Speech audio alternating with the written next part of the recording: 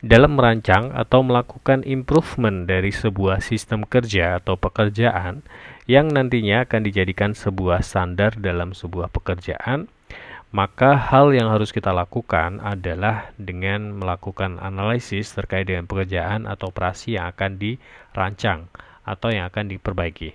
Nah, dalam video pembelajaran kita kali ini, kita akan belajar terkait dengan teknik-teknik dalam method engineering, atau bisa kita sebut juga dengan rekayasa metode dan operational analysis atau analisis operasi. Nah, di sini sebagian besar teknik yang akan kita diskusikan adalah uh, traditional tools dalam teknik industri, terutama dalam merancang sistem kerja, dan salah satunya adalah method engineering. Nah, Method engineering atau rekayasa metode. Apa sih definisi dari method engineering ini? Jadi, method engineering ini sering dikaitkan dengan work measurement atau pengukuran kerja dan dua bidang yang sering kali dikaitkan dengan method engineering ini adalah motion and time study atau studi gerakan dan studi waktu. Di mana keduanya ini erat kaitannya dengan perkembangan teknik industri sendiri yang bisa dibilang mulai dikenal sejak adanya gerakan scientific management yang dipelopori oleh Frederick Taylor dan juga suami istri Frank and Lillian Gilbert. Nah, sebenarnya method engineering ini bisa dibilang lebih dari sekedar studi gerakan ataupun studi waktu. Ruang lingkup dari method engineering ini sudah berkembang jauh melampaui fokus aslinya pada studi gerak dan studi waktu. Nah, di sini kita definisikan method engineering atau rekayasa metode ini atau rekayasa metode ini sebagai analisis dan desain dari uh, metode kerja dan juga sistem kerja. Termasuk di dalamnya adalah terkait dengan tooling atau perkakas, dan equipment, peralatan, teknologi, uh, tata letak dari tempat kerja dan juga tata letak dari pabrik atau fasilitas dan juga lingkungan kerja. Nah, definisi dari method engineering yang dikembangkan oleh standar ANSI oleh subkomite pengukuran kerja dan metode standar ini didefinisikan sebagai aspek dari teknik industri yang berkaitan dengan analisis dan desain metode dan sistem kerja termasuk teknologi pemilihan operasi atau proses, spesifikasi jenis peralatan dan lokasinya, desain tugas manual, dan juga interaksi antara pekerja dan mesin. Jadi method engineering ini juga mencakup desain dan kontrol untuk memastikan bahwa output, uh, inventaris, inventory, kualitas dan juga biaya ini tepat. Nah, dengan definisi seperti ini, method engineering ini sering dikenal dengan sebutan seperti misalkan work study. Kemudian ada yang juga yang menyebutnya dengan uh, work simplification atau penyederhanaan dari pekerjaan. Kemudian ada yang menyebutnya juga dengan method study.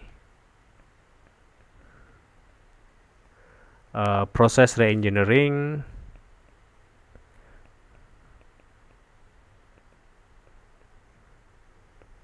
dan juga uh, bisnis proses reengineering.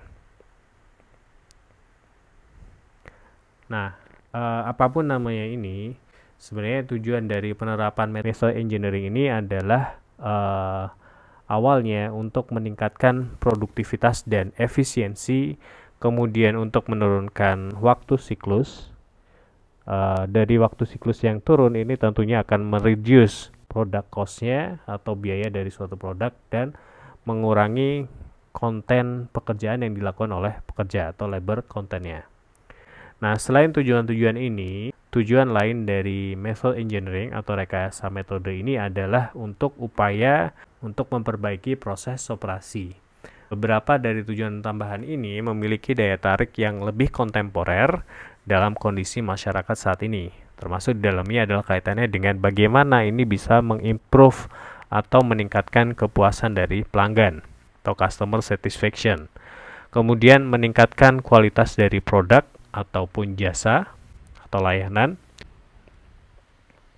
Kemudian juga mengurangi waktu tunggu atau lead time dan tentunya akan mengimprove terkait dengan workflow, alur kerja, kemudian meningkatkan fleksibilitas dalam sistem kerja, dan tentunya akan mengimprove uh, work safety, keselamatan pekerja.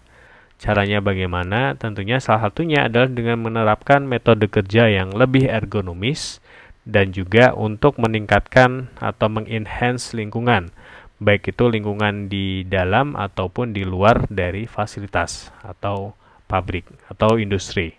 Nah, istilah lain yang terkait dengan rekayasa metode atau engineering method atau method engineering ini adalah analisis operasi atau operation analysis. Di mana operational analysis ini didefinisikan sebagai studi yang berkaitan dengan operasi atau urutan proses operasi yang di situ melibatkan manusia atau pekerja, peralatan dan proses yang tujuannya adalah menganalisis efisiensi dan efektivitas dari sistem atau proses operasi sehingga perbaikan dapat dikembangkan. Dan tentunya di sini akan dapat meningkatkan produktivitas, mengurangi biaya, meningkatkan kualitas, kemudian eh, mengurangi bahaya kecelakaan dan mencapai tujuan lain yang diinginkan. Nah, sasaran dari adanya operation analysis ini pada dasarnya hampir sama seperti method engineering atau rekayasa metode, yaitu mengincrease atau meningkatkan produktivitas, mereduce time dan cost-nya, dan tentunya adalah mengimprove safety dan kualitasnya. Nah, di sini bisa kita lihat bahwa antara method engineering dan uh, analisis operasi ini adalah istilah yang sangat mirip kecuali pada method engineering yang lebih menitik beratkan pada desain. Nah, karena method engineering ini lebih luas cakupannya, maka kita akan menggunakan istilah method engineering untuk uh, pembahasan dalam video kali ini. Dalam perkembangannya, method engineering ini mungkin lebih banyak dikaitkan dengan motion study atau studi gerakan yang dikenalkan oleh uh, Frank Gribert di tahun 1885. Nah, studi gerakan yang terutama berkaitan dengan kerja fisik manual di bagian di bidang manufaktur dan konstruksi ini adalah uh, perhatian utama, fokus utama dari gerakan scientific management di akhir abad 19 dan juga di awal abad ke-20. Dan uh, studi gerakan adalah salah satu dari dua teknik utama yang digunakan para praktisi dalam scientific management untuk melakukan improvement atau perbaikan dalam sebuah sistem atau sistem kerja. Nah, saat ini metode engineering ini masih banyak diterapkan di banyak bidang pekerjaan lainnya termasuk terkait dengan uh, tenaga kerja yang tidak langsung, uh, logistik, uh, operasi jasa, pekerjaan kantor, dan juga desain tata letak pabrik. Nah, karena bidang-bidang lain ini semakin penting dalam ekonomi negara-negara industri, maka uh, metode engineering telah diterapkan untuk menganalisis, meningkatkan, dan merancang metode kerja. Nah, dari segi masalah yang dibahas, rekayasa metode atau metode engineering ini dibagi menjadi dua area, atau dua bidang. Yang pertama adalah terkait dengan method analysis atau analisis metode dan kedua adalah method design atau desain atau perancangan uh, metode. Analisis method ini berkaitan dengan studi tentang metode ataupun proses yang ada, kemudian pemeriksaan dan analisis operasi atau siklus kerja yang kemudian dipecah atau di breakdown menjadi beberapa elemen kerja dasar yang menyusun uh, pekerjaan tersebut di mana tujuannya adalah untuk perbaikan, menghilangkan langkah-langkah yang tidak perlu dan atau menetapkan serta mencatat secara rinci metode kinerja yang diusulkan. Itu terkait dengan analisis metode. Sedangkan desain metode ini berkaitan dengan eh, situasi-situasi uh, seperti misalkan kita mendesain metode yang baru atau proses kerja yang baru atau kita melakukan desain ulang, redesign dari uh, metode yang sudah ada atau proses yang sudah ada berdasarkan uh, metode analisis atau analisis metode. Method analysis atau analisis metode ini berkaitan erat dengan studi terkait dengan uh, metode atau proses yang ada biasanya dilakukan dengan membreakdown atau memecah operasi atau proses menjadi beberapa elemen kerja atau operasi dasar yang menyusunnya, kemudian e, memeriksa secara detail elemen-elemen tersebut atau operasi dasar tersebut. Nah, dengan adanya pemeriksaan detail elemen atau operasi ini, pencarian sistematis dapat dilakukan untuk menemukan cara yang terbaik dalam meningkatkan metode atau proses. Nah, biasanya e, pencarian sistematis ini sering kali menggunakan checklist yang terdiri dari e, daftar pertanyaan atau saran yang dapat menawarkan improvement. Ada beberapa tujuan menggunakan checklist dalam analisis method.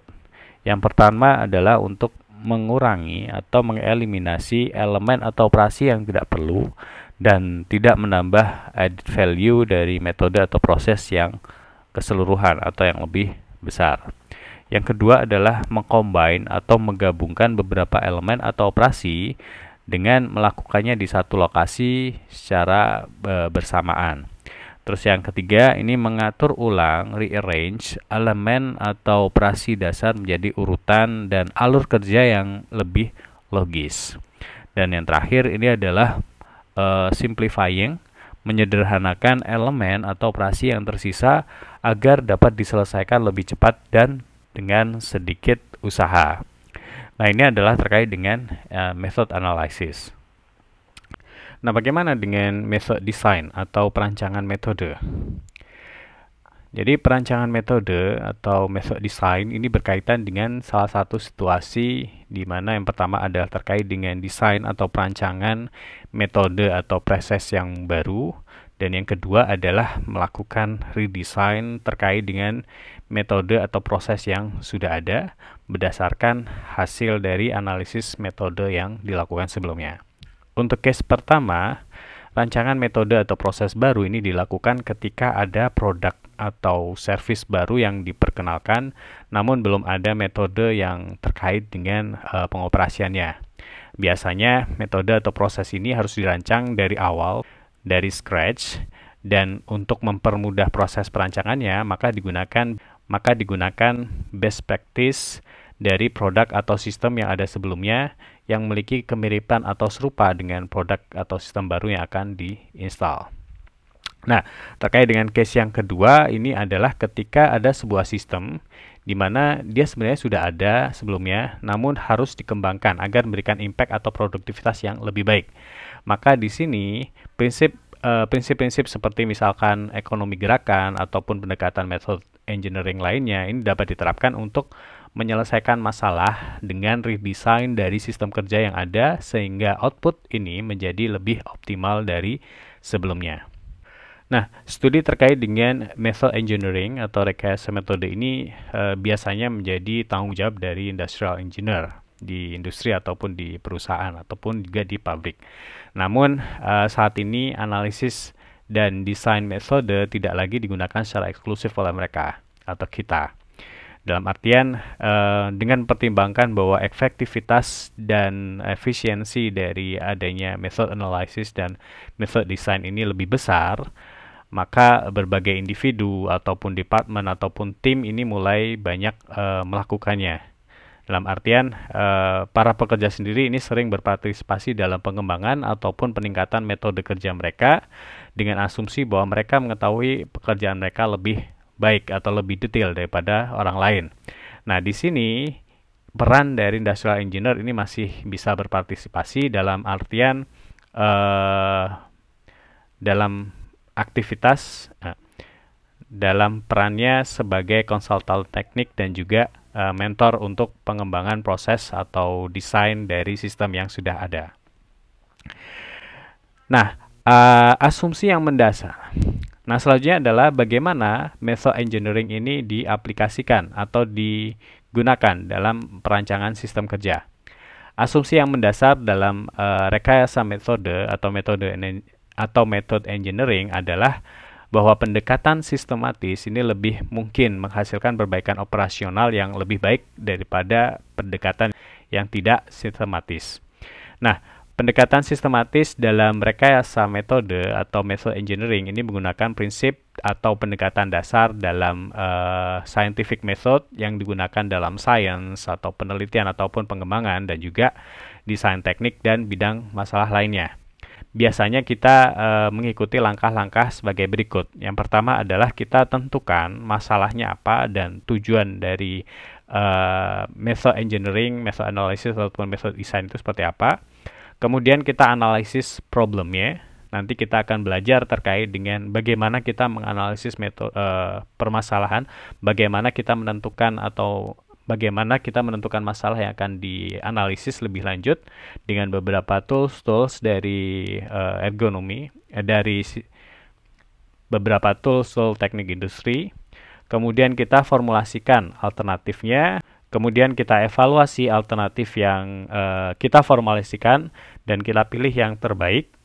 Dan selanjutnya adalah kita terapkan implementasi metode yang terbaiknya dan terakhir kita melakukan audit terkait dengan uh, implementasi uh, metode yang kita lakukan sehingga di sini kita bisa uh, mendapatkan hasil yang lebih optimal terkait dengan perancangan dari sistem kerja yang akan kita improve atau kita perbaiki.